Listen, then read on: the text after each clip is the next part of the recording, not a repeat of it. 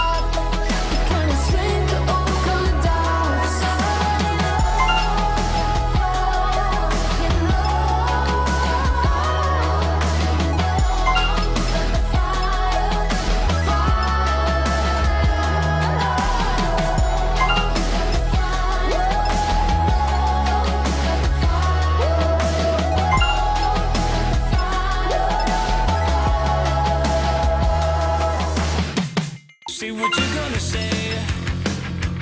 Do what you gotta do.